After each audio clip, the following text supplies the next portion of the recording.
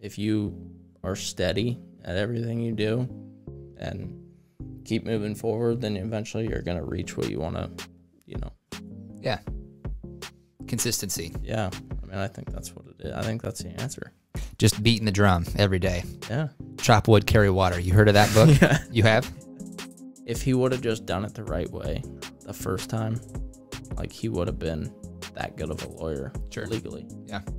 So like sometimes instead of taking the shortcuts to try to get where you want to be, you're gonna have that major setback because you didn't take all the proper steps.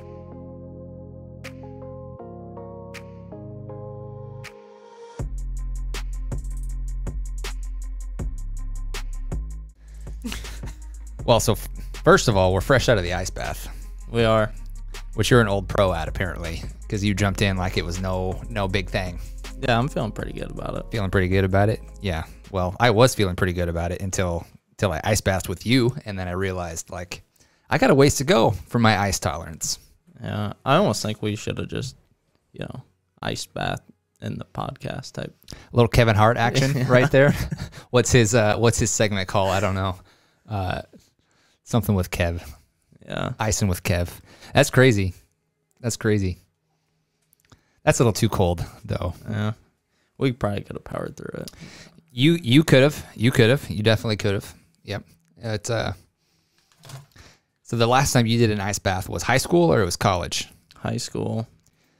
Did you spend a, a whole a whole year in college? Was it one year or was it? Um, it was actually I only played college football for one semester, and then the second semester of my college career uh, was kind of the whole COVID situation. So that's when they sent us home. Rather than just said, we're not doing everything's online, basically. Yeah. Yeah. Yeah, I actually remember like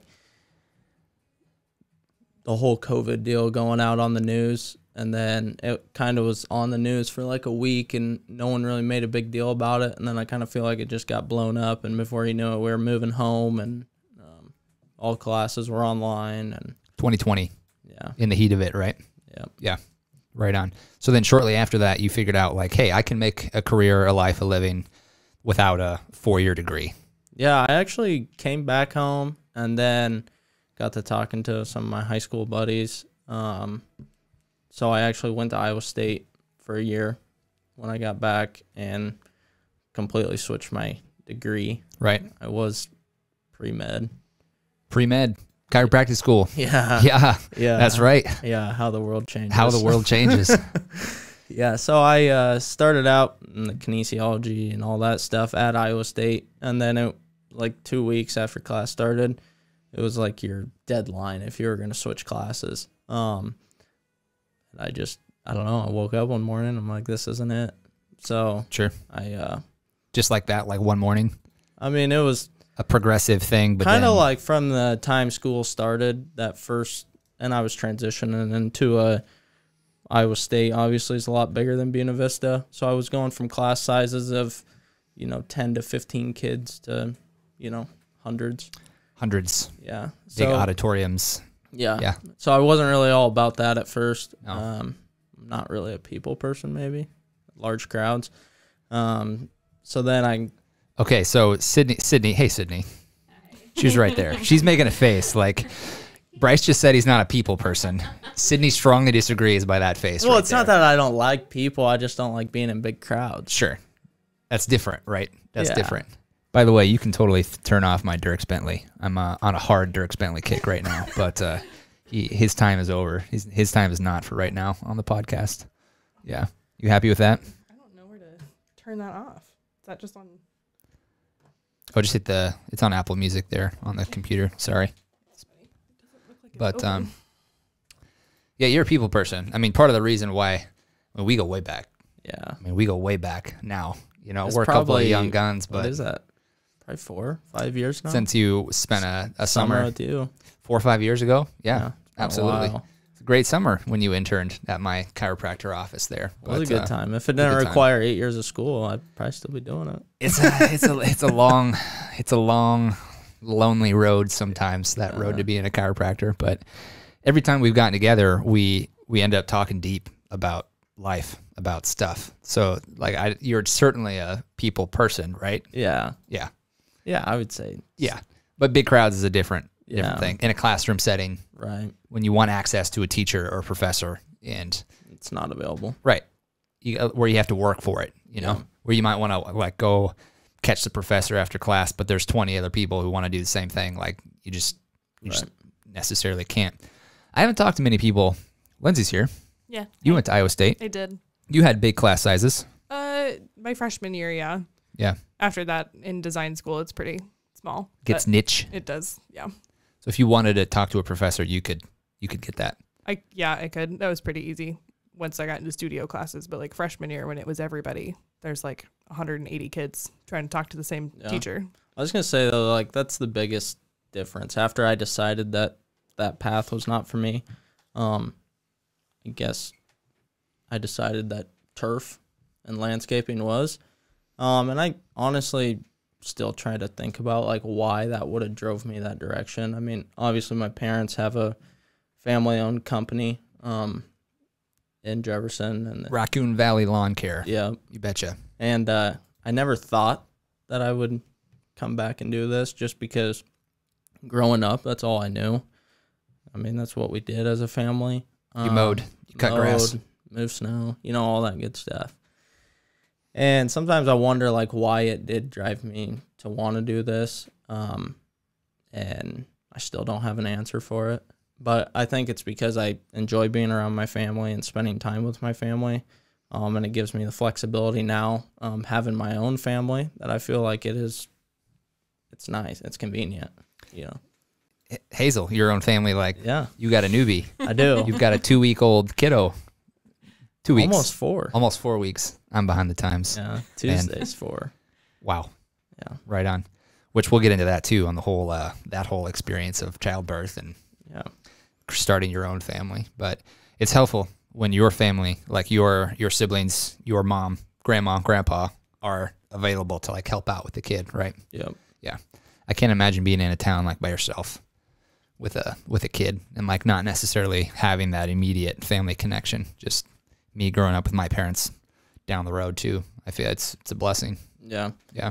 And then, uh, so when I did decide to go to turf, it was actually really nice because all my class sizes went from huge to shrunk. And then you start building the connections with your professors. And actually, funny enough, um, last year, I haven't been at Iowa State for three years now. Three years. Yeah. And uh, last year, I got a phone call from a random phone number. I didn't know who it was, so I answered it, and it was actually a professor of mine at when I was at Iowa State. So they had uh, just redone the high school football field, and they were struggling with the sod issues and Oh wow. and all that. And uh, yeah, he called me and he's like, "Are you still in Jefferson?" yeah. He's like, "Well, I, I need to meet you out there and, and see, you know, what your ideas are. You know, how can we help the school get their football field back together?" So I thought that was kind of cool. You know, you go from a big university, and really, I didn't have that big of a connection with him, but it was just enough. Like he remembered me, so I think like that's kind of an important takeaway from being there. Did you tell him that you were like quitting college to go home and start or work on the business? Well, yeah, it was he- actually um, so it was the end of a semester, um, and then we started.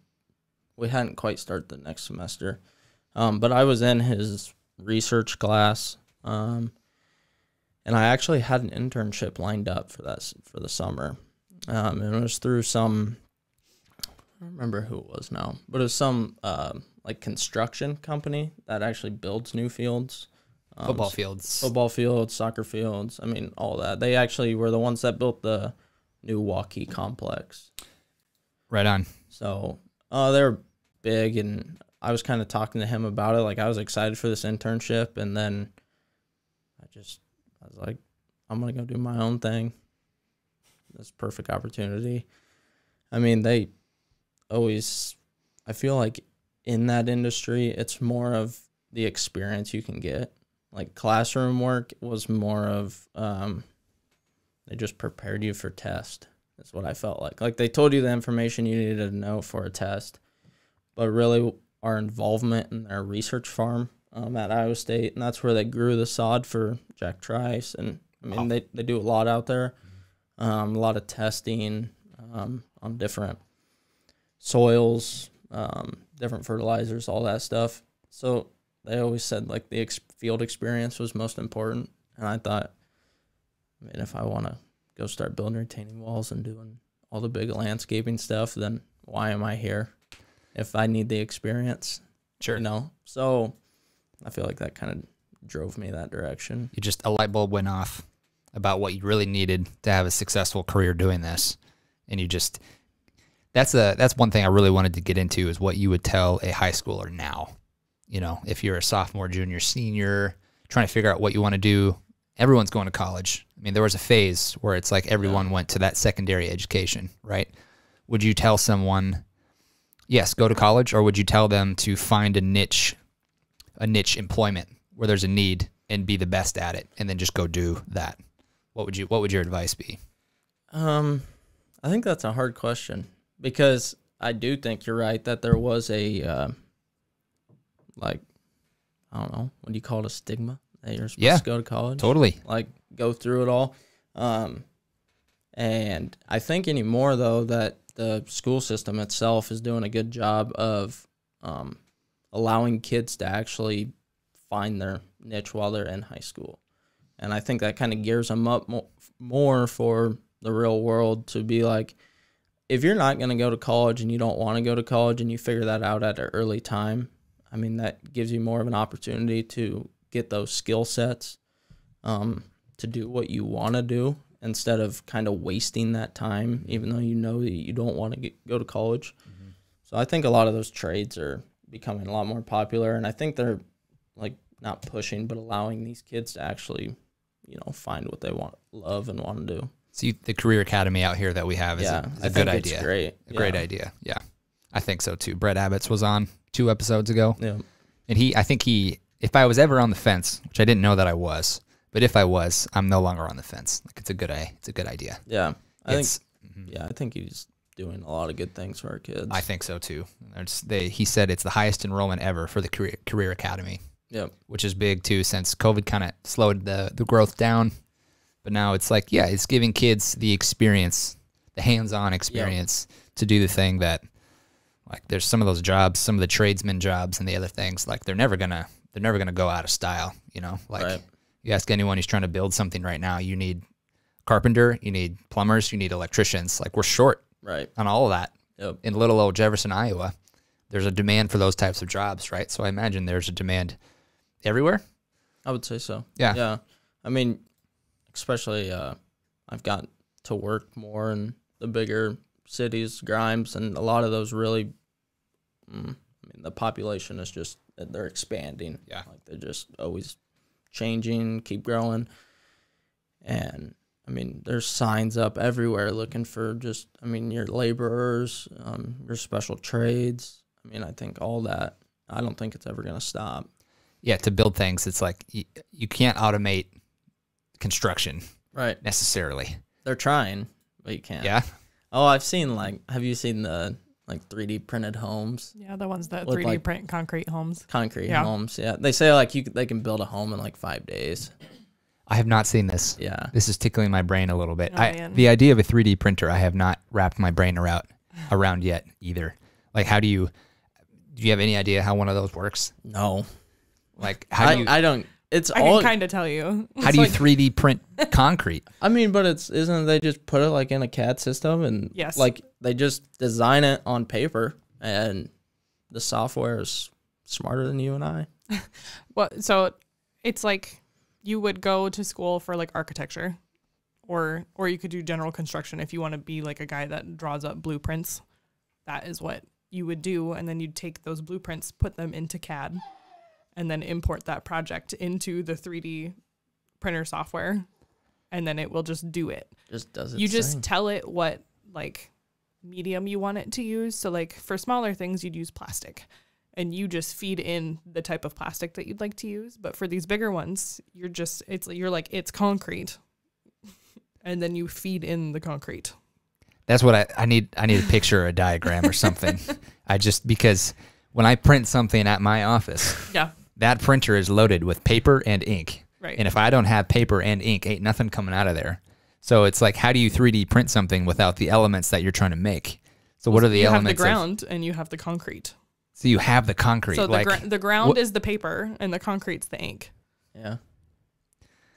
so you're just dumping like bags of concrete into this no, thing. They're put, like, I'm pretty sure it's like full blown concrete trucks. I mean, Yeah, If you're building a whole yeah. house, Sure, then sure, I'm sure. It takes a lot of concrete, but And like this this stuff will run sometimes they do it in phases. So they'll do like the foundation, let it all dry, and then they'll do the next level of the house and let it all dry. yeah, I actually And- thought at one point like Iowa State had uh, like talked about doing their own. I'm 3D sure they did. Like building a couple of them or whatever. For, Yeah. I'd, I'd be interested in seeing all of that sort of stuff. I there's Amazon homes now.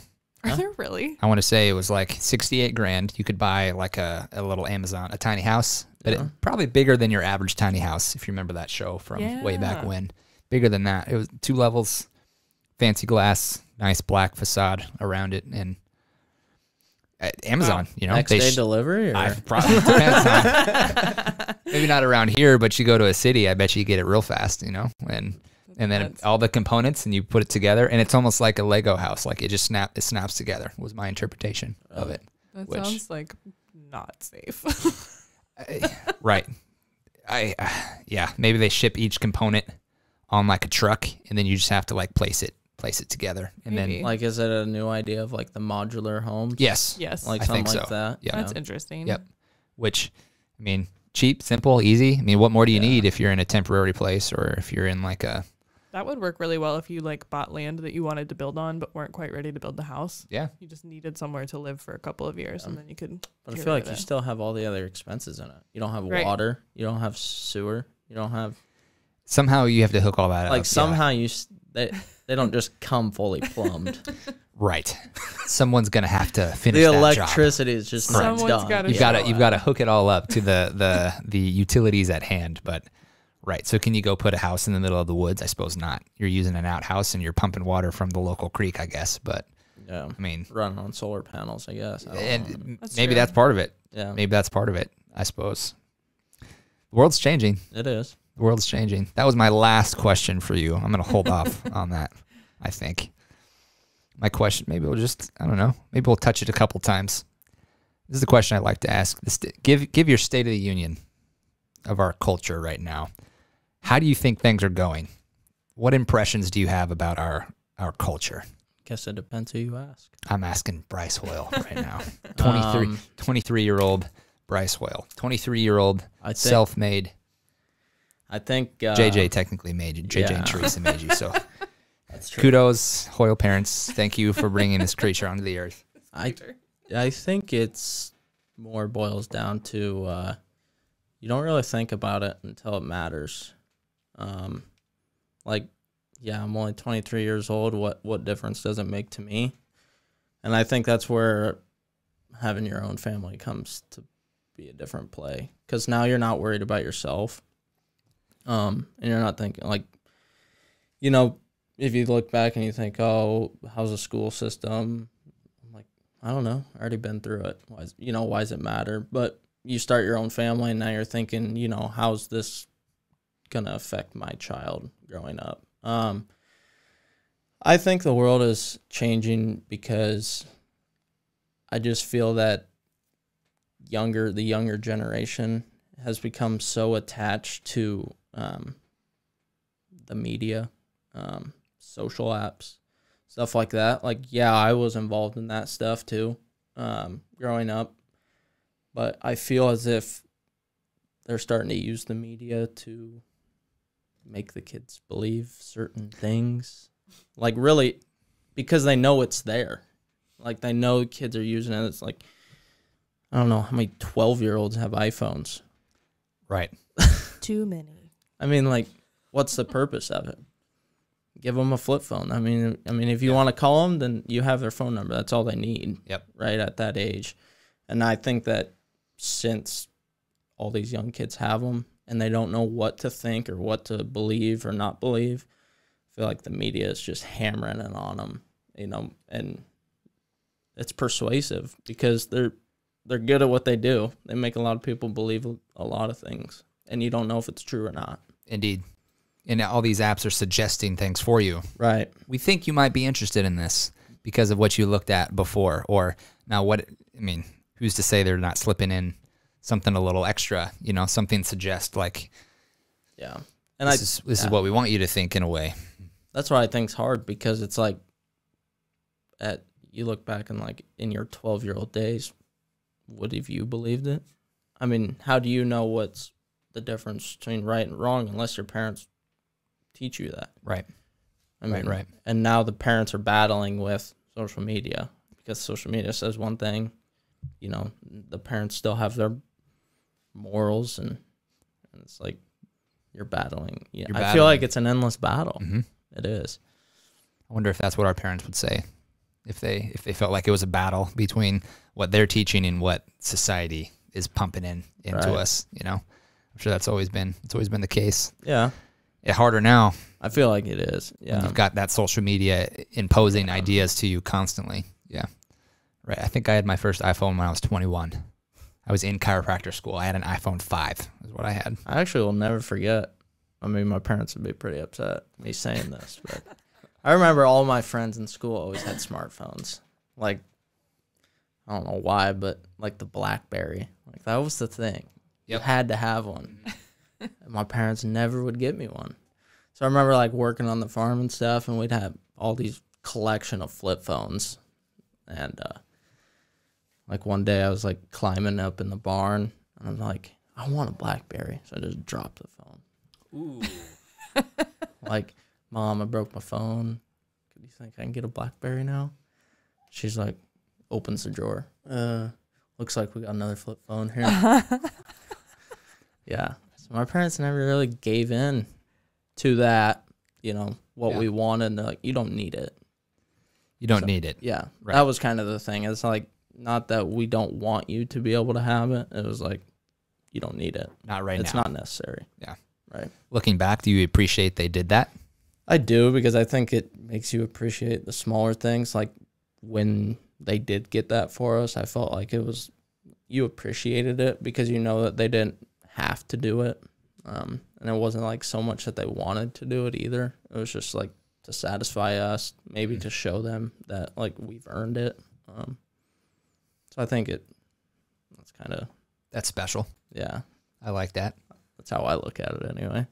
I think it sounds like your parents were very logical, very uh, very level-headed parents, or would you say? Well, and I, I think a lot of it is is like either my parents grow up with a lot either. Like both their families wor- have worked their whole lives and continue to work, and um, like I feel like they both both sets of them like went through struggles at points. So I think they really appreciated, you know, what they have now, what they've worked for. Mhm. So I think that goes a lot, you know, hand in hand with everything. It does, and so I mean, you obviously uh, how. One question is like, if someone wanted to do what you're doing with landscaping and building walls and all this, like, did where how would they learn? How would they start? If it's like Bryce, I want to be like you. What do I do? Honestly, I think the best thing you can do is like put yourself in that environment. Um, there's landscapers every day with not enough help. Like, it's it's a hard manual labor job. It's it's physical. Not easy.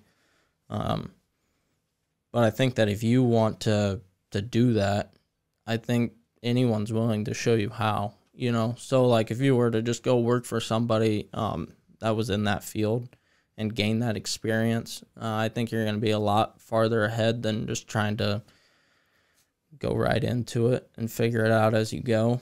Um, just because there's a lot of liability behind it. I mean, if you build a wall and it falls, and it's on you. So it's uh, a risk of safety, obviously Right. and just a risk of if that wall falls, do you have the money to, you know, kind of eat it? Crazy. I mean, you. I mean, that's what you'd have to do. Is you just have to eat that money Right. and, and Start over. eat your time to go Yeah. rebuild it. should have got some pictures uh, of stuff that you've built because I've seen a couple things and it does baffle my mind when I think about when I try to put myself in your position. Like, how would I do that? Yeah, I have no idea. I have no idea. Like where you even get where you get rock from.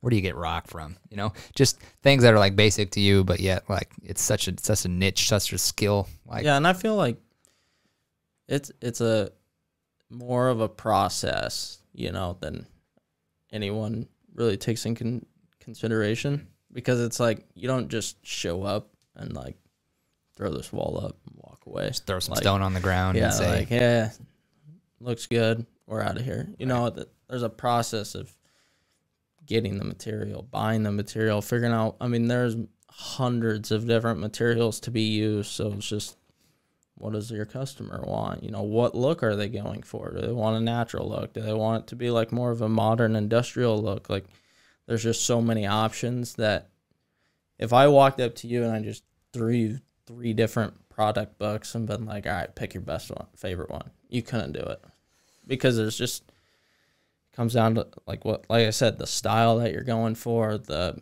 I mean, there's just so many different textures of block. There's different sizes of block. There's, I mean, it's it's, it's crazy endless. world. Crazy world. so I mean, like, I always try to just feel them out right away, and before we even talk about materials, obviously, just see the like size of the job, what they're kind of going for. You know, are they doing it just to hold a hillside, or are they doing it, you know, to get the the looks out of it? Um, because there's retaining walls that definitely don't have to be built that people build anyway, just for the aesthetics of it. Um, yeah, but you got to figure all that out. You got to figure out what you're going for before you even figure out the material. I mean, that's the biggest on. thing. So how often will you be uh, like building a wall, working away, and you'll get like a first responder call, and then you're like off, like trying to get to an accident or a scene of something? So I feel like it's hard right now because the first like year, probably me building walls, um, I was more localized. Um, I did a lot of work around here, so it was convenient. I mean, it was easy for me. Like if we got a call, I know that like firefighting wise, you know, it's volunteer, so getting that day help is hard. So I was always around, um, so it kind of always worked out. And I mean, now I'm I'm 45 minutes or an hour from home most days. So I feel like something like that goes across. You're just like, well, you know, if it's nothing major or nothing big, I just kind of have to just push it to the side, you know, because I can't afford to drive an hour to go to a fire scene to drive an hour back to Right. work. Right. Um, Sydney, a first responder too, she is. firefighter and everything. Right. Yes. And your dad's your dad's on that. Been for a long time. Yeah. Yep. Just volunteer. Yeah. Right on. That. Uh, are there more fires? Have there been a, a higher rate of fires recently than the last couple of years, or I don't know. What do you think? Not really. I feel like it's actually went down. I feel like my first six months on the department was like crazy because it was the co-op explosion. Landus? Yeah, some of those big things in my first year that made it seem like there was a lot of fires. But sure. I don't know. I feel like it's a good thing not to be, be busy with the fire department. Very good. Correct. Very good. I feel like Very we just good. know more people that have like their houses or garages have caught on fire recently. Maybe that that's we're- it. That we feel like it's probably more, but I'm glad that it's t- lower than typical. Indeed. Finally paying attention to those things. Yeah, you know people or Right. it's yeah, you understand how devastating a Right. fire is. And I, I guess I, I don't I never understood how often it actually happened. It seems like there's been like several house fires recently. Yeah, I think probably recently it's been a little higher, but I don't think it's above, above average of a typical year. What how, do, how are these house fires starting? Do you have any idea? Like not oh, that you need just it could be anything, you know. But I think like typically you see older houses start on fire just because like obviously everything's older in them electrical wise. You know the whole how old is old? God. That's a Like my house is 1952 is when it was built, I believe. right, but has it been remodeled ever? Like uh, Yeah. you know what I mean? Like sometimes when they do that, they go and redo the electrical or you know some of those Sure. things that are fire enhancers maybe. But I feel like I don't know. I'm not a fire investigator, so I No? can't answer that question. Is that a thing? Do we have a fire investigator? Yeah, is I'm there pretty sure it's Jack, isn't it? Yeah, right on? Yeah. Tracks. Jack wears a lot of hats. he does. I Sheriff. couldn't, I couldn't, busy be, dude. Firefighter. I couldn't be Jack. Yeah, yeah. Emergency weather response guy. Yeah, he's got a lot of hats. Yeah. We'll get him on here sometime. That'd be fun. Talk to him about how he does it. Well, because I was talking to you one time, and I it I don't think it was your first response, but you rolled up on a motorcycle accident. Yeah, that that was actually that was one of my first ones probably, but yeah. and correct me if I'm wrong, but you rolled up and I mean the the the gentleman had died Yeah. and his leg was Off. yes, Yeah. which I, just talk to me a little bit about that. Like as That- you roll up on this, what's going through your head? I mean, have you ever seen? I mean, yeah. Obviously I, I'm not a guy for blood. No. No. Okay. So that's the first thing. Yep. Um, and then kind of after that, you know, it's, I feel like your emotions are more of, there's no more saving him. So it's like, how can you be the nicest that you can be to honor his body? Um, but actually, in that situation, I was only really seen it for like a few minutes because then I had went and helped with the traffic issue because it was on a main highway. So I feel like that kind of just mellowed out the situation for me. Sure. Um, yeah, I'm not a not a blood guy really. But Was was it a motorcycle car accident? yeah, motorcycle versus car. Car was okay. People in the car were okay. Yeah. Yep. Just the yeah motorcycle guy. Was there anyone at fault on that one, or I was don't. it just a yeah, I guess I don't. I don't really know the situation that it was, but I'm assuming it was just you know an accident. But How many uh, intense situations like that have you come across, or do you really even keep track? Do you just serve? kind of go with the flow. Yeah. Yeah.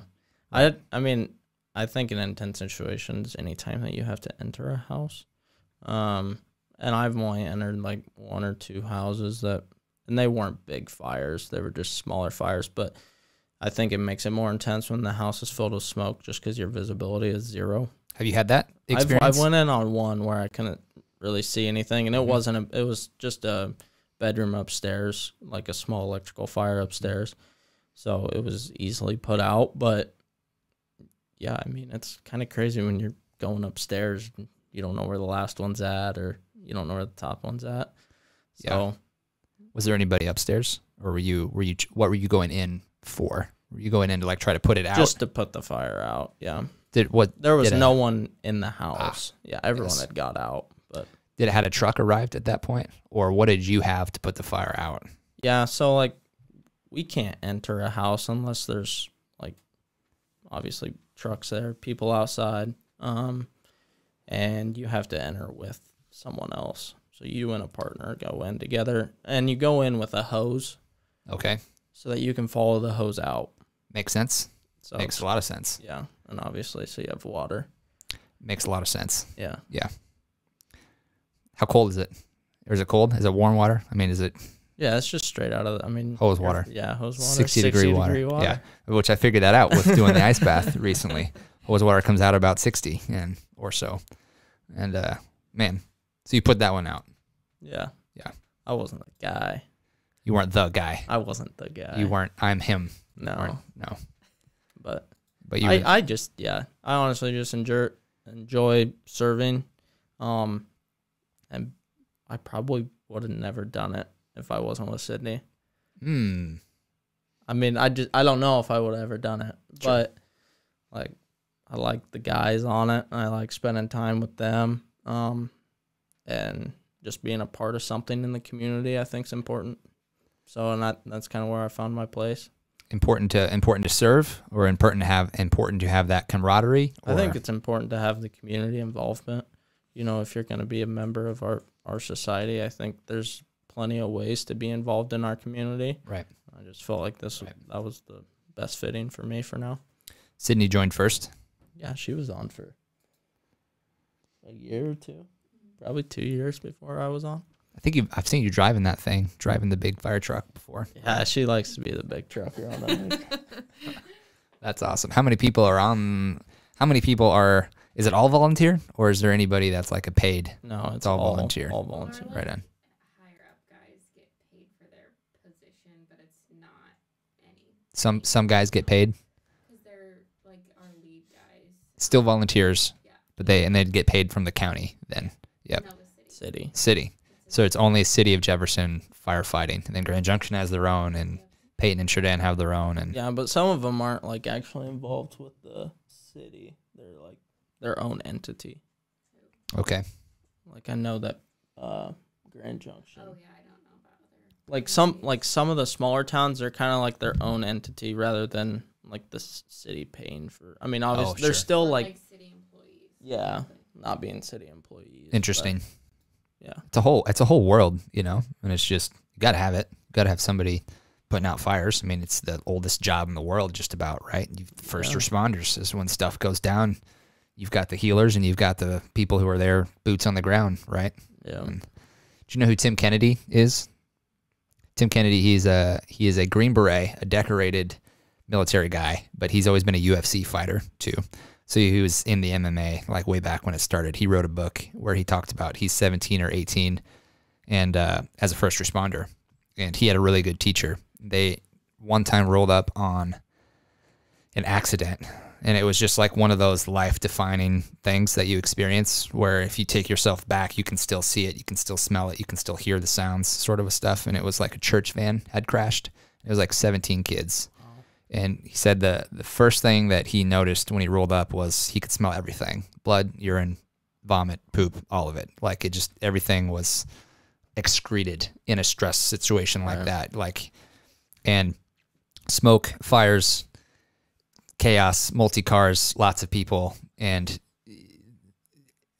ah, it was formative for me to Yeah. read about, which is not something that I've really been exposed to. But I'm very into on, on the topic of health right now, just like how you respond to stress. I think this is the key to like all all things because if you heard the quote about how life is 10% what happens to you and 90% of how you respond to it. I feel like eh, you're a calm, cool, collected guy. Like, so I don't know about that. now I, I've, I've thought about this because how you respond to stress and the presence of anger are different. Because, like, when you fly off the handle, I'm not saying that you do this. I mean, I think we all Have fly- our moments. we all have our moments, Yeah. right? Of flying off the handle because it just builds and builds and builds and builds. But when something stressful happens to you, someone dies, you get injured, fender bender, or you lose your job, or you get COVID and you spend two weeks in the hospital. Like those are more intense, some quick, some slow stress incidences, but it's all about how you respond to that, you know? Right. And I think the uh, the people who live longest are not the worry warts, the uh, high anxiety people. You know, the I I think this is my theory right now is like it, the the more chill you can maintain when stress happens, the healthier you're going to be because stress stress is the is the is a killer. You know, Right. stress leads to so many so many things. So that's my theory. You know, and would you say you're a calm, cool, collected guy? Or, I mean, you as a first responder, Sydney's shaking her head like she knows you're calm, cool, collected. Yeah. See, I don't think so. You don't think so? No, I think I can portray myself to be like while I'm around people. The fact that you can portray yourself to be almost tells me that you definitely are. Because if you can give a portrayal out that's different from what you're feeling, if you were if you were at mercy of the feelings, you wouldn't be able to portray calm, cool, collected. So there you have it. You don't have to be humble right here. You can just be No, like, but I, yeah, I, just what- don't think that's who I am. What have you got figured out? Is what I'm getting after. What What about life have you got figured out that's making you just tick along one day at a time, Hmm. working hard, building a family? Because if you, as I, the highest suicide demographic is young white males, our age, your Really? age. Where it's you get this purposeless kind of like limbo out of high school, got to figure out what I'm going to do you experience a stressor, you experience a loss, don't know how to handle it, don't have a good coping mechanism. I think I'd just rather not be here, you know? And then there's then there's you. I've seen you go through some stressful things. I saw you go through, you know, pre-med into different career into I'm just going to come home and start working, you know. Yeah. I've seen you go through different things and yet here you are, like just humming right along. I don't know. I just think that however you make it to be is how it's going to be. I mean, if there's always going to be bad situations and I mean, what are you gonna take out of it? I mean, it's really bad to say. Like, obviously, if you lose someone, like I think grieving's a whole different deal, like a whole different side of the spectrum. But I mean, like, just your everyday, like things are not always gonna go your way, and I think that's honestly my biggest struggle. Is sometimes I have something so planned out and it just doesn't work. That that's what gets me. But I think that if you look back on the day and you're like, well, I got this, this, and this accomplished, you really didn't have a bad day. So I don't know. I would say like just appreciating like all the small moments, like just small accomplishments. It doesn't have to be major. Like not have your goals so high that they're not reachable. Expectations. Yeah, like just know that if you are steady at everything you do and keep moving forward, then eventually you're gonna reach what you want to, you know. Yeah. Consistency. Yeah, I mean, I think that's what it is. I think that's the answer. Just beating the drum every day. Yeah. Chop wood, carry water. You heard of that book? yeah. You have?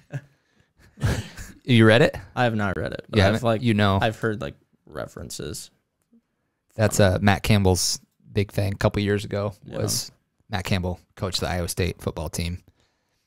His uh, he had the entire team read this book, uh, Chop Wood, Carry Water, which Lindsay and Tyler, I was gonna say as soon as you said it, I almost said it. So yeah, yeah, you bet, and uh, where it's just about you got to do. It's this guy who wants to be a uh, an archer, like a uh, a samurai archer. He's just this guy who wants to go be an archer, and the training is out in the like the beaten off the beaten path. Like they have electricity and things, but every day you have to go get your own water and you have to get wood for fire. So it's every single day you got to do these things. You have to chop wood, spend time hardening your body, getting strong, carrying water from up. And then when you do that day after day after day, it gets not necessarily easier, but you build a base of function that Right. leads to higher achievement. And for like the first two years, as they're practicing, archery, they don't practice from farther than seven feet away. And it's like they want to shoot the long shots. And this one guy, the main character, is he's frustrated with that, wants to shoot longer shots. So the instructor takes him out and has him shoot. And he's he hits the target, but it's not dead on. So then right before he's about to shoot, he takes a stick and he moves his elbow just like an inch. And the arrow goes like way off target because he's shooting from far away. Aim small, miss small. Like he he took the aim off a little bit, but he missed by a mile. And that was the reason why you start from a close up. Is because you're gonna get that form so locked in to where once that's locked in, in the future when you have longer distances to shoot at, you're gonna be the same form, same technique. You're not gonna miss by a mile because you have a flaw in your technique, sort of a thing. Managing expectations, sort of a thing. Yeah. That's what you're that's what you're reminding me of right here. I think that makes a lot of sense. Makes a lot of sense. Yeah. For sure. I The- think that's anything you do. managing expectations, consistency. Yeah. Yeah. That's just obvious to you, just common sense in a way.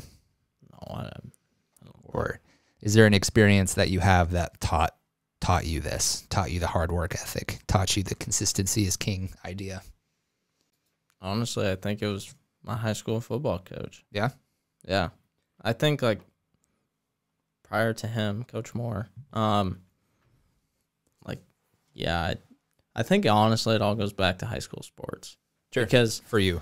yeah, I I think that's where I like Mhm. kind of figured everything out. You could say, um, because like prior to him, I obviously lifted weights. No, I didn't really know what I was doing, or I didn't care that much to know what I was doing. Um, and then kind of after him, just like discipline, like the daily grind, like you just learn to learn to love it. I guess. I mean, because it wasn't easy and he didn't sugarcoat anything when he came in. Like he, I remember the first day meeting him, he just pretty much said, "This is how it's gonna be." So, you're either gonna buckle down and grind it out, or you're just, Or maybe this isn't for you. yeah. I mean, I that was kind of the his idea behind it. Uh, Coach Moore. Yeah, Which, right on. Yeah, yeah. You uh how many years did you have him? two. Junior and senior year? Yeah. Yeah. And junior year was, I mean, junior year, our our record did not reflect any different than the previous years. We still only won one game. So there there's something behind the way that he went about coaching. Because when you go through a year of what we did of 5 a.m. practices, 5 a.m. workouts, four days a week, year round, through the winter, doesn't care. I mean, it doesn't matter if you're in wrestling, if you're in basketball, it doesn't care if you're track. Like he wanted you to do all these other sports, but you were still going to go to 5 a.m. lifting. Like there was just no exceptions. So I feel like you go through a year of that, then you have the season we did, one and eight. What about the way that he was coaching was he able to get everyone to stay bought in the following year? That's a great question. Because nobody nobody left, nobody I mean obviously the senior class was gone. Right. But like why did we keep I mean, You all kept after it. Right. Your class, your senior class. yeah, You were dedicated to the process. right. How many games you win your senior year? Eight. You went. You were one and eight, and then you went eight and eight one. and one. Made Or the playoffs. Eight, and two. Yeah, after Sure. the playoff loss. Right on. Big switch. Yeah. But I think like there's something more than just the athletic ability of the team. Like because Nobody changes that quickly with No. the same with the same talent. no. No. And he was I mean he was the trust the process guy. Sure. I mean that's what he preached. Mm-hmm.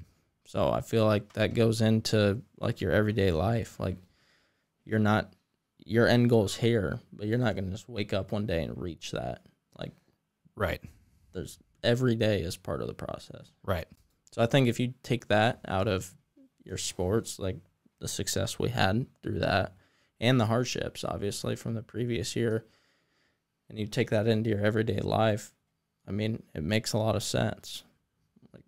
There are going to be setbacks, there's going to be adversity you have to face, but how are you going to handle it? What are you going to do to better the situation?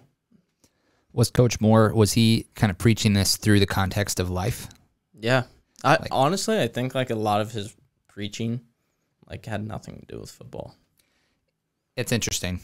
Like Yeah. it was just I mean, yeah, it all correlated and, and was in relation to football in some way, but like if you really sit back and think about what he was talking about and what he was driving us to do, it had nothing to do with, you know, being a good football player. It was all about life. It was all Yeah. about this is the way it really is. Right. Yeah. And because this is the way it really is, we're gonna practice football like we should be living life, essentially. Yeah. Yeah, because it wasn't just like lifting to him. It wasn't just about conditioning. Like he had, we had great relationships with our coach, and I think that's important. Um, and then besides that, it was like nutrition.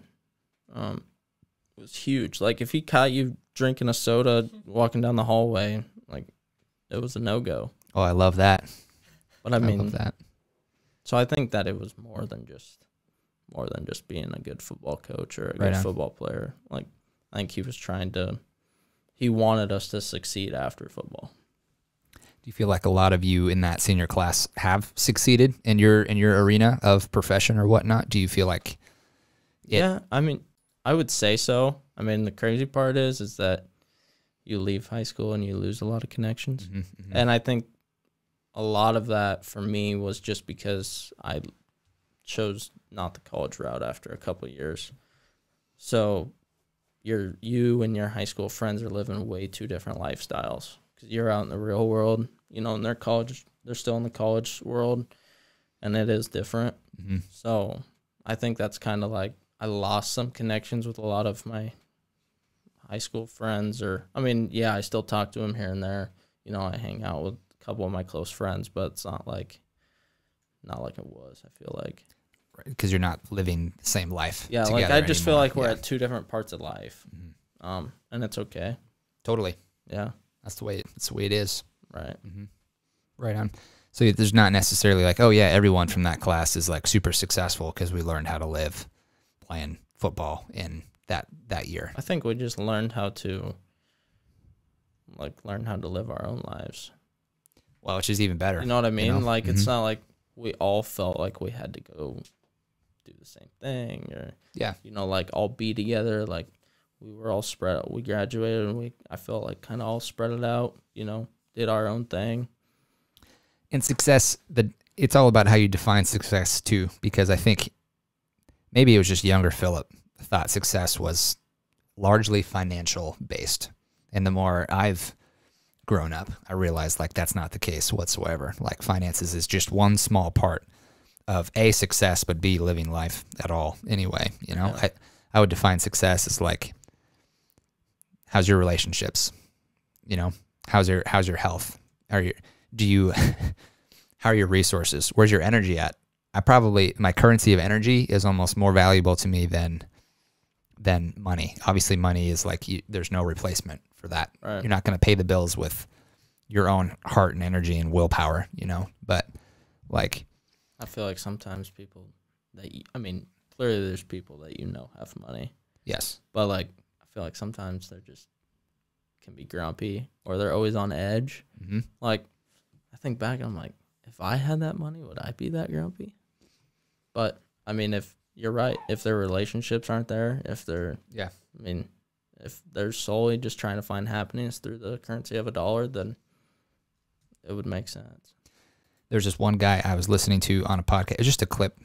Everything's in clips now, you know, Yeah. reels and short videos. And he, uh, he's actually a controversial fellow. Do you know Dan Bilzerian? I think is his name.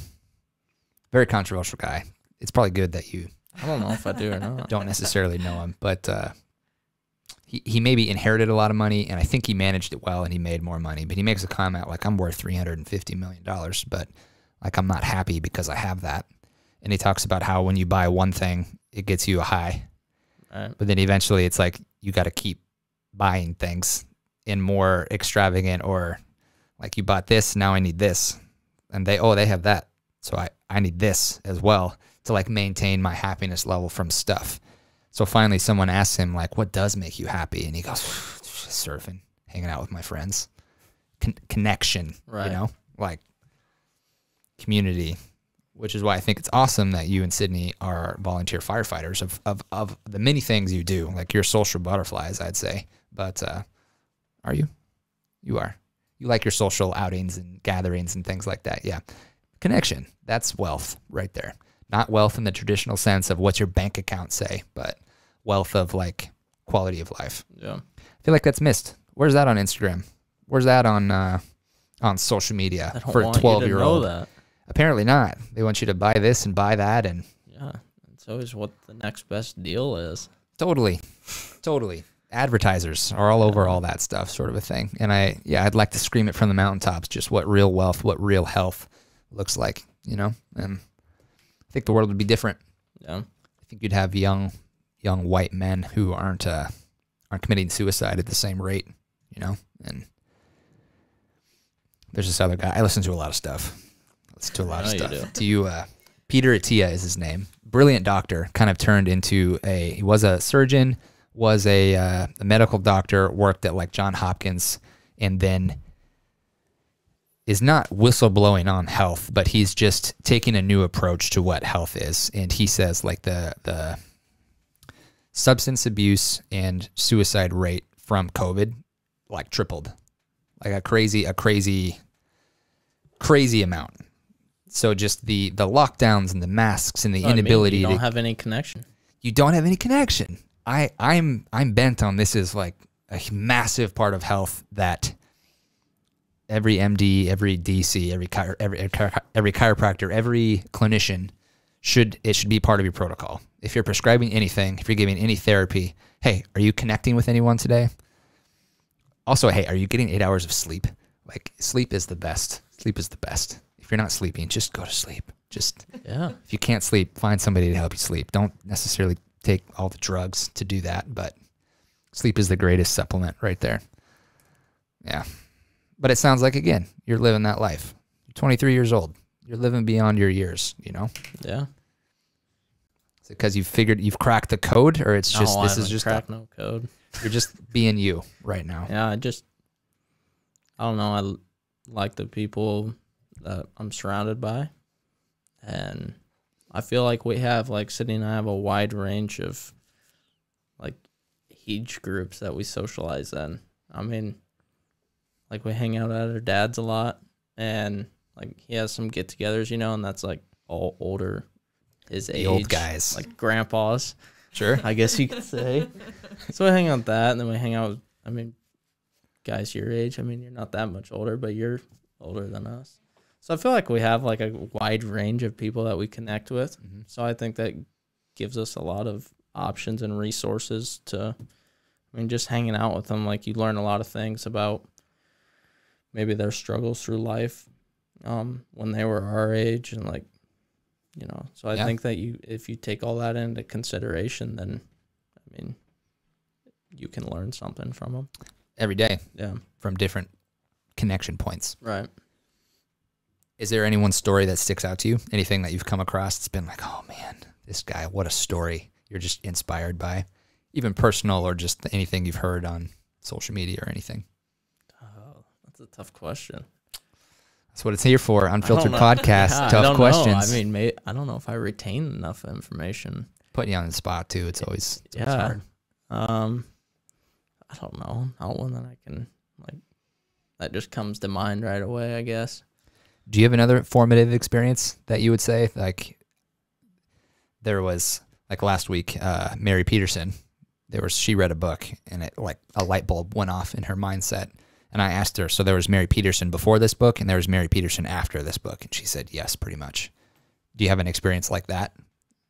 Junior senior year football, there was Bryce Hoyle before football. There's Bryce Hoyle after football. I think Bryce Hoyle in football, college football, and then Bryce Hoyle after football. That was the, I think pinnacle. that's the breaking line.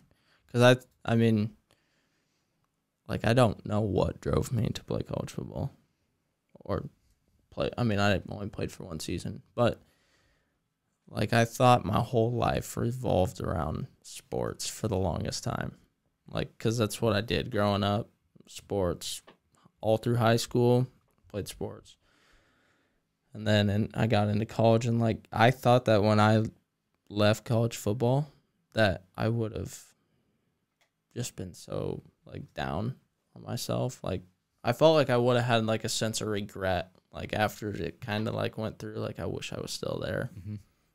But I didn't have that cuz I felt like I started enjoying other things in life cuz like for so many years I woke up I I did sports and I went to bed.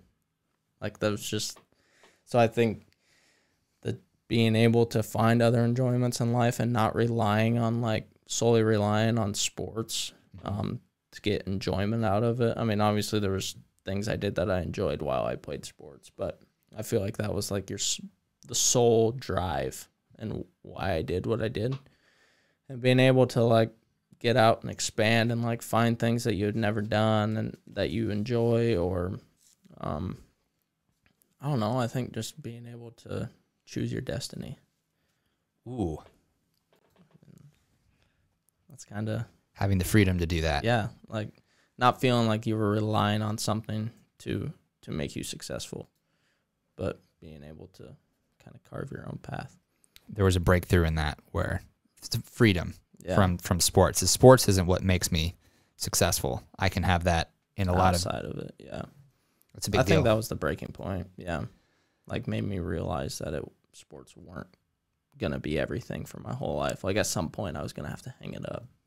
and everyone needs that experience in a way, right? Like Well, and I think everyone goes through that experience. I mean, you think about like take an NFL player for instance, how many years they've con- I mean, like that is what they do. Um, so like I feel like even at that point, I mean, that's in their mind at some point they have to hang it up. Like there's just you cannot keep playing any longer. So like I feel like being able to understand that and maybe I don't know, like for me, like getting out of that those shoes was like important for me to like drive to the rest of my career or the rest of your life, yeah. Yeah. I mean, discover your purpose. yeah. And honestly just like a change, like being able to accept change.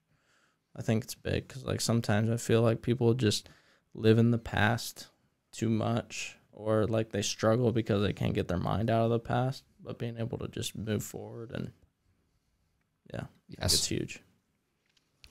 that's funny because me and uh, Andy, we share a lot of high school sports experiences, and we will recall them on occasion. And our wives, I don't think they even say anything now. They just go like, turn the page.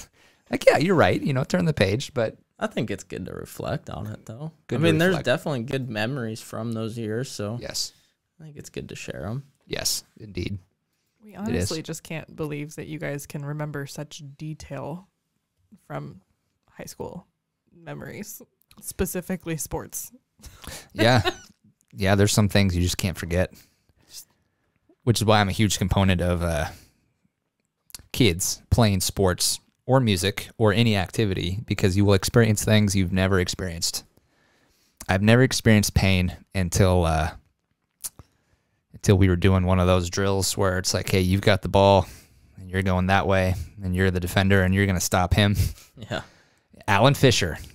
He uh, he was a tank. He was built, and uh, he had the ball. I had to tackle him, and I was like a stinger. I had a stinger. I've never experienced pain before until that that exact moment. Yep. Yeah.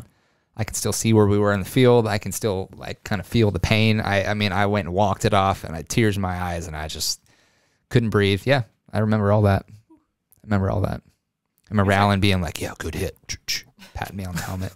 like, yeah, let's not do it again. I'm out. Thanks. Yeah. I guess those I sort of remember like injuries and stuff like that, but you guys will be like, remember when this guy ran that route and then he threw the ball and we got the touchdown? and we're all like, "Mm, no. Yeah, maybe maybe those are special, just special Yeah. moments. You Yeah. know, special formative I feel like moments. you got to be a part of it to appreciate it. you do right. Yeah. That means you were a part of it. Yeah. You were there. You were present. Right. Got to be present. Can't be stuck living in the past or the future. Got to be where you are. That's how you remember things. I think. You just need to be present more, Lindsay. Jeez. I didn't understand football until probably like last year. yeah. So hearing anybody talk about any sort of football play, I was like, "Ah, there's a ball, and when you get it to that end of the field, it's a touchdown. yeah. What was your formative uh, activity? Volleyball. Volleyball. Oh yeah. You understood volleyball. Yes. There's Lindsay Wathen pre volleyball and Lindsay Wathen post volleyball. Yeah. Yeah. A short volleyball career because I kept dislocating my knees, but You got flexi joints. I do. Yeah, you're not normal. They're a mess. What else are you watching, reading, listening to? Do you consume media or are you kind of a wake up, work? I don't know. We don't. We don't watch the news. I don't. I mean, no. Netflix, Yeah. movies? Are you a movie? Movie like it's nighttime, we're gonna relax on the couch. Yeah, we got a show once in a while. Yeah. We'll watch together. Yeah. You got anything right now that you're doing? We just finished uh the Lincoln Lawyer. The TV series, right? Yeah. Yep. It was pretty good. Yeah. I kind of like those, like, I don't know, almost like the reality, like real life deals. Like it was obviously fict- fictional, but kind of like the real life settings of court and all that. Like I feel like it's always Yeah. Versus Fantasyland yeah, or outer space stuff or yeah. I actually, sci-fi. I actually, speaking of which, I've watched a TV series called Suits. I've heard a lot about Suits recently. Do you Yeah, watch yeah. it? Uh, I know enough to know the reference. I but, think um, that you can like. I think you can get something out of it. Ooh, do tell. So there's this kid, um, that graduates high school, and uh, he's really intelligent, but he never goes to Harvard to go to law school. But people pay him to take the bar test for him, for them, Oh wow. because he's got like photographic memory. So like he could just look at it once, he knew all the answers. He'd go pass all these tests for these kids. Well, one day he went to the I mean, like the highest law firm and interviewed and just straight up told this guy like I don't have a degree. But he's like open up your like told the guy of the law firm, the lawyer, he's like open up your book and ask me any question. And he like does and this kid just rattles everything off. And then the lawyer like gets upset about it, so he like closes his computer thinking like he's gonna rattle off just like the kid is. Like and the kid's like, No, you you missed a part. Oh, So okay. so goes on and this guy ends up hiring this kid over all the other like actual certified to be a first year assistant. Without a without a a- lawyer's. Yeah. So they thought they were gonna keep this on the down low, like be their little secret. Oh, But then he turns out that he is a really good lawyer because he's like he's smart enough to do it. He understands all that, but he just never went and got certified. Like he wasn't legal. And uh the lawyer still believed in him, like and they still kept it a secret, but when it came down to like someone was going to find out, they cheated. Mm. like he knew how to break in to get his name in Harvard's files and knew how to get his name to be a certified on the bar and all this stuff. So like they always instead of doing things the right way, they always found the loopholes to get around it. And at the end it ended up coming back and like kind of bite him in the butt. Like he knew all along he had like through the series he had several opportunities to walk away Mm.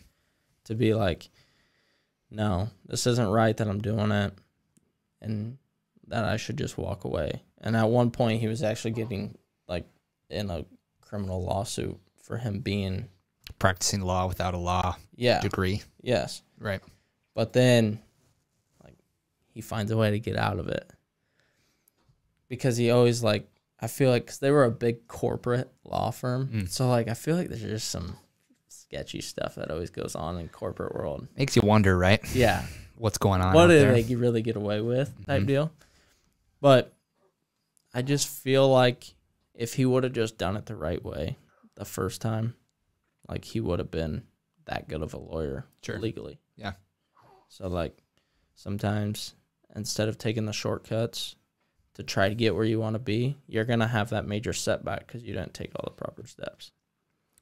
And I think, I mean, I think that was a really good point. Maybe they weren't trying to make, but that I kind of seen out of it because like there was just so many opportunities this kid had just to escape and be free, and just There we are.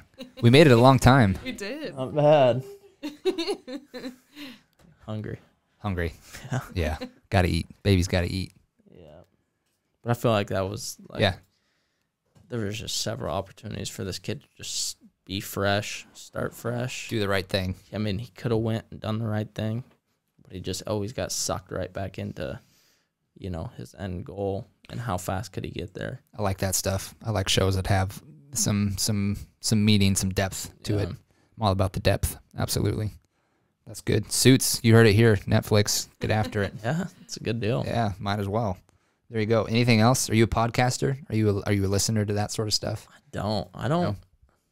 I don't know. I don't find myself listening to much. A lot of times I feel myself driving. I'm like, I could turn on the radio.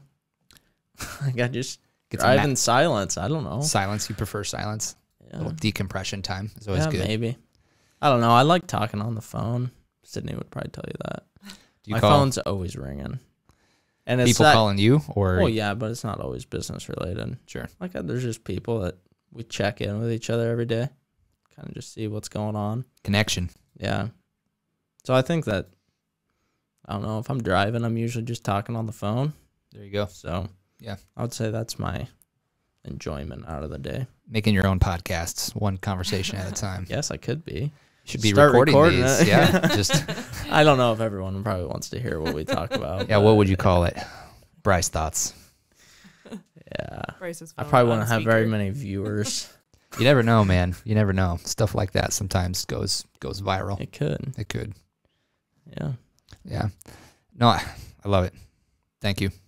No, I appreciate you having me on. Absolutely. I mean, I'm sure we'll do it again. I, Sydney's a candidate to be on. Yeah. Could have hooked her up right here. You know, Shoulda. we'll give you baby duty next Yeah. next week. Sid can come on talk about talk about life and all that sort of stuff. Yeah, Get another ice bath then. And you betcha. Colder this time. yeah. Colder. I just had a buddy tell me he likes his at 44 degrees. The coldest I've been How in. so precise? He, uh, I think he's got a system where you like. Uh, he's either got a chiller. I know he's got a chiller, Okay. and he either like chills it until it's at a certain point, or I mean, now they've got things where you can set the temp, and it'll go until it's that cold and then shut off. Oh. Yeah. Yeah. the I ice wonder bath like world. would it be easier on your body to get in when it's 60 and then your chiller chill it down to Oh 40? man, there's a thought. I would rather do it that way. But I think the But shock is probably where you get the health benefit. This sh- correct, Yeah. correct. Yeah. Yes. It's the stress level reaction. Like Indeed. how fast can you bring your stress down so that you can manage what's happening? There's an amazing podcast by Huberman Labs that's all about. Uh, he's honestly amazing about any topic. He's got all the research. I'm in the middle of this ice bath podcast right now. He's got one on dopamine, which I feel like is super important. Yeah. Your dopamine from an ice bath increases the same amount as when you take cocaine. An ice bath and cocaine increase the dopamine in your brain the same amount, except after cocaine, it peaks after 10 minutes. And in a, uh, I may have said this last week. If I did, and you're listening, I'm sorry that I'm don't have fresh stuff. An ice bath, it peaks after two a, two hours. So 10 minutes after cocaine, two hours after an ice bath. So you get a longer high from an ice bath than you do from drugs. So That's like interesting. very, Yeah. very, absolutely. Because what's- it'll, But like cocaine, you're going to have a crash. So what's a crash off an ice bath? I'm not sure because it's all about how fast you you uh, handle dopamine in your brain. Some Right. people are faster, some people are slower. So it's you might have a crash if it spikes and goes down that much, but it's it's much slower with an ice bath. Hmm. Slow rise, slow fall. I feel like you're just sleepy. You feel that way? Yeah. Whenever I have done it. Like But- right after or like four hours after? Probably like an hour and a half, two hours after. I which am- would track. I am just lit. I am just lit. Maybe you're a fast de- uh, decreaser of dopamine. I think I have ADHD, which would be a fast dopamine processor. sure. It's quick hits off of everything, but everything falls off really fast. So that would make sense for me. But It's a big deal. Yeah. Super big deal.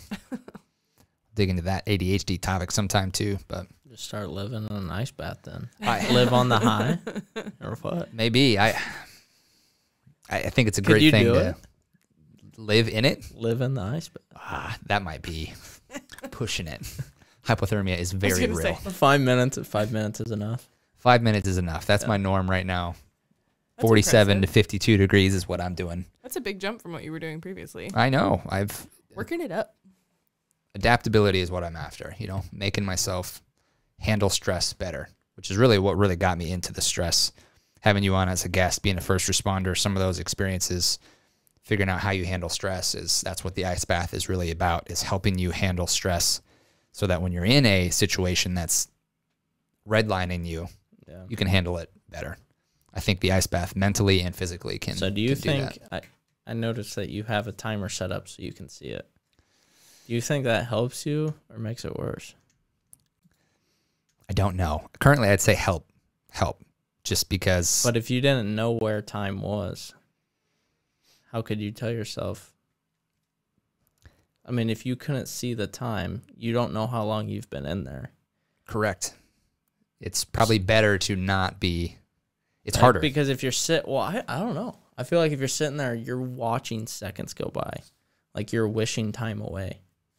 I You're don't know. Wishing for it to be over. Some people talk about how the ice bath is addicting, and I feel like I'm that way right now. Where I, yeah, I, I want, I want to be in it right now, and I, I didn't think I'd get to be this way, but I have. So the timer right now, I don't know. Do I just like knowing. I know, but do you think if you say you didn't have a timer, how long do you think you would actually sit in it before you got out? I'm not sure. Do you think you'd make it the full five minutes or not? I think I'd. I don't know. We'll have to do this experiment. Yeah, I think out of fear of not going long enough, I would end up going longer. too long. Yep. Yeah. That'd be six, seven minutes. And today when we did it, you think you're mentally tough enough to to get through that? Or we'll see. yeah, That's what don't it's know. I for. mean, yeah, That's what it's for. I mean, I yeah, I want that mental toughness. I had a terrible time doing ice baths in college. Couldn't handle it at all. First couple, I think when I did it with Lindsay's husband, it was like, "Can you make it warmer for me, just so I can like get one in, just Yeah. get one done?" And uh, now we're ready to roll. we had good Right. we had good times in high school in the ice bath. It's a special. It's a special. I mean, it was it was fun. you got to You make had it like fun. yeah, I mean like you had eight guys just all jumping in the ice bath. big a big a big, thing. Yeah, big it stock was a tank. big tank. Yeah. Yeah. Yeah, special times. So it was. Yeah. Anybody who wants to try an ice bath, you hook me up. Bryce is a king at it. 52 degrees, didn't bat an eye, wasn't even shivering. That's a pretty good. It's a, it's a decent temp, but it's all about what you can handle and where you're at. So, We'll test it. We'll see how low we can go. indeed, we will. Winter's coming. I was gonna say, you guys can come over when it's 10 degrees outside and see how it goes. Tyler's got a nice setup. Indeed, we'll do that. Right on. Bryce, thanks. Thank you. Love it. Appreciate it. Next episode. Signing off. Catch you later. Thank you.